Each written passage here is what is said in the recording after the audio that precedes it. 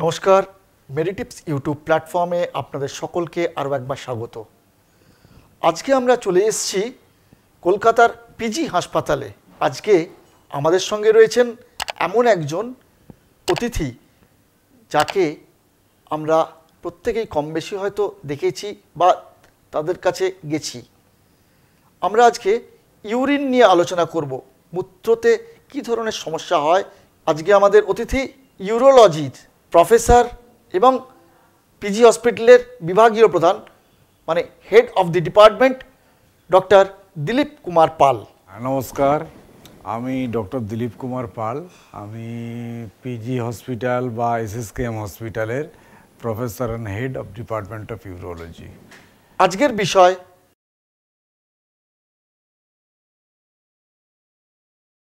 ইউরোলজিতে কতকগুলো সমস্যা নিয়ে আমরা যে পেশেন্ট পাই, তার মেইন কাজ যে জিনিসগুলো দেখি, সেগুলো হচ্ছে কিছু জন্মগত সমস্যা।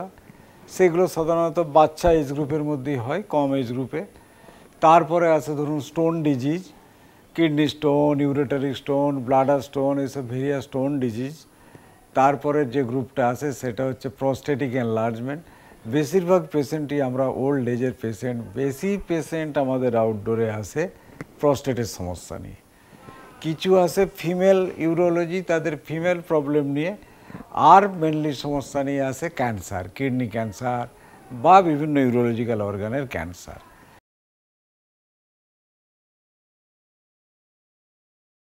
যদি রেনাল ফেলিওরের কিছু সিমটম থাকে যে আপনার কিডনি ঠিকমতো কাজ করছে না বেসিক্যালি আপনি যখন এই সুপার স্পেশালিটি হসপিটাল আসবেন ডেফিনেটলি তার আগে নিশ্চয়ই আপনার আর ফ্যামিলি ফিজিশিয়ান বা আপনার আশেপাশে যে ডাক্তার আছে তাদেরকে দেখাবেন। দেখানোর পরে সাধারণত তারা রেফার করে এখানে।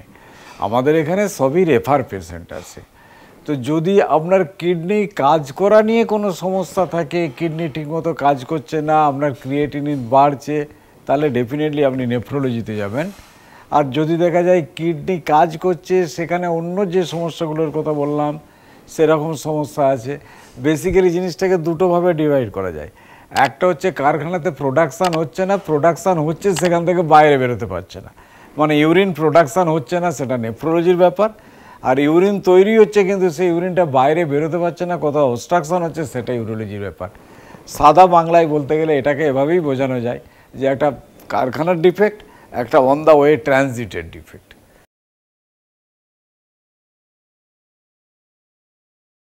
প্রস্টেটে ক্যান্সার হয়, কিন্তু প্রস্টেট যেটা normal benign enlargement of prostate তার থেকে ক্যান্সার হয় না। Prostate cancer is separate entity তার মানে প্রস্টেটটা বড় হয়েছে মানেই ক্যান্সার এই কথাটা বলে নেওয়া ভুল।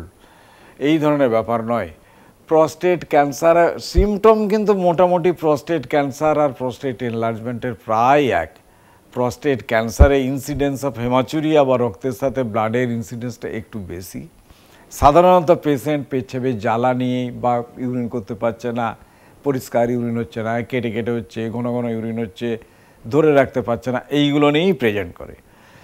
আমরা ক্লিনিক্যাল এক্সামিনেশনে একমাত্র উপায় হচ্ছে পায়খানা রাস্তার ভেতর দিয়ে, আঙুল দিয়ে আমরা প্রস্টেট গ্ল্যান্ডটাকে দেখি। প্রস্টেট ক্লিনিক্যালি এছাড়া অন্য কোনোভাবে দেখা যায় না। সেইখানে আমরা সাসপেক্ট করতে পারি যে হ্যাঁ পেশেন্টের প্রস্টেট ক্যান্সার আছে। আমরা বুঝতে পারি আঙুল দিয়ে যে হ্যাঁ এটা ক্যান্সার নাকি নন ক্যান্সারাস সেখানে যদি আমাদের মনে হয় যে হ্যাঁ এটা ক্যান্সারাস একটা সামান্য পরীক্ষা serum PSA blood for serum PSA, এই পরীক্ষাটা করালেই আমরা জানতে পারি যে হ্যাঁ এটা ক্যান্সারাস কিনা। এক, আমাদের clinical suspicion second thing level of serum PSA.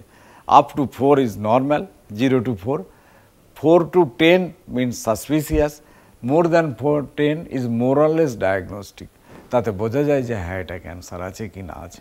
এরপরে তার পরবর্তী চিন্তাভাবনা করতে হয়।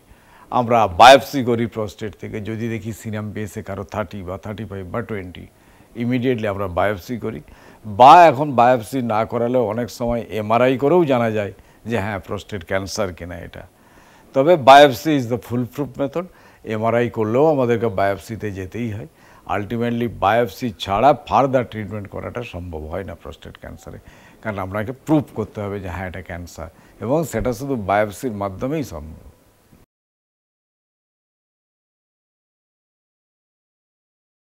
প্রস্টেট ক্যান্সার যদি লোকালাইজড হয়, যে disease ডিজিজটা confine to the prostate gland হয় it is curable but if it spreaded to other organs তখন আর কিউরেবল করা যায় না, তখন তাকে ভালো রাখা যায়। এখন আজকাল খুব ভালো ভালো মেডিসিন বেরিয়ে গেছে। মোরাললেস পেশেন্ট তার নর্মাল লাইফ পায়।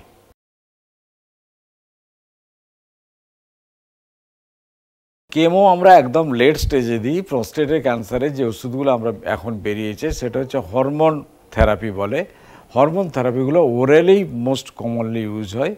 কোনো কোনো ক্ষেত্রে হরমোন থেরাপির টেস্টিস দুটো আমাদের কেটে বাদ দিতে হয়। তার কারণ হচ্ছে টেস্টিস থেকে যে টেস্টোস্টেরন হরমোনটা বেরোয়েছে হরমোনটা is a potential source of this growth of this prostate cancer যদি কোনো পেশেন্ট টেস্টিস কেটে বাদ না দিতে যায়, তার জন্য অপশন আছে, তার জন্য একটা ইঞ্জেকশন দিতে হয়, একটু কস্টলি সেই ইঞ্জেকশন মান্থলি বা থ্রি মান্থলি বা সিক্স মান্থলি নিয়ে যেতে হবে। আর সেই সাথে তাকে হরমোন সাপ্রেসিভ থেরাপি দিয়ে যেতে হয়। এবার যতদিন দেখা যায় যে না, এতে পেশেন্ট ভালো আছে, অনেক পেশেন্ট পাঁচ বছর, ছ বছর, সাত বছর, দশ বছর পর্যন্ত ভালো থাকে। কিন্তু কিছু কিছু পেশেন্ট সিআরপিসি বলি তো আমরা, যে ক্যাস্টেড রেসিস্ট্যান্ট হয়ে যায়, এই হরমোন হরমোন রেসিস্ট্যান্ট হয়ে যায়, তখন তাদেরকে আমাদের অন্য ট্রিটমেন্টে যেতে হয়।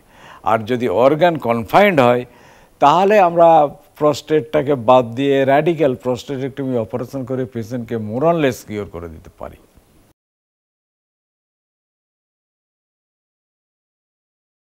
Urine is a potential culture media ইউরিনের মধ্যে ব্যাকটেরিয়া নর্মাল কমন সোর্স থাকে ব্যাকটেরিয়া আর যদি জমে থাকে ইউরিন, সেখানে ব্যাকটেরিয়া গ্রো করার চান্স খুব বেশি and that is a potential source of UTI প্রস্টেটে কী হয়? প্রস্টেট বড় হওয়ার জন্য পুরো ইউরিনটা বেরোয় না, একটি ইউরিন থেকে যায়। আস্তে আস্তে সেই থেকে যাওয়ার ইউরিনটা বাড়তে থাকে, এবং তাকে, তাতে ইনফেকশান হয়। সেই ইনফেকশানেই বেশিরভাগ লোক প্রেজেন্ট করে। সেই ইনফেকশন ট্রিটমেন্ট করতে গিয়ে আমরা ইনভেস্টিগেশনে দেখি যে না পেশেন্টের প্রস্টেট বড় আছে। And that is the cause for UTI এভাবেই অনেক পেশেন্ট ধরা পড়ে যে হ্যাঁ তার প্রস্টেট বড় আছে। অসংখ্য ধন্যবাদ ডক্টর দিলীপ কুমার পাল আমাদের সময় দেওয়ার জন্য। আমার আরও পরামর্শ পেতে মেডিটিভস চ্যানেলটি আপনারা দেখতে থাকুন। দেখতে থাকুন শুনতে থাকুন মেডিটিপস এবং অতি অবশ্যই লাইক এবং সাবস্ক্রাইব করতে ভুলবেন না। এই ডাক্তারবাবুর সঙ্গে যোগাযোগ করতে বা কলকাতা সহ ভারতের চিকিৎসা ও বাণিজ্য সংক্রান্ত যে কোনো বিষয়ে সহায়তার জন্য যোগাযোগ করুন আমাদের সঙ্গে এই ঠিকানায়। আমাদের phone number plus nine one nine double three zero two four zero seven six two আবার বলছি plus nine one nine double three zero two four zero seven six two আমাদের email ID mail Meditives at the rate Gmail dot com এছাড়াও মেডিটিভস নামে YouTube ও Facebook পেজেও পাবেন আমাদের।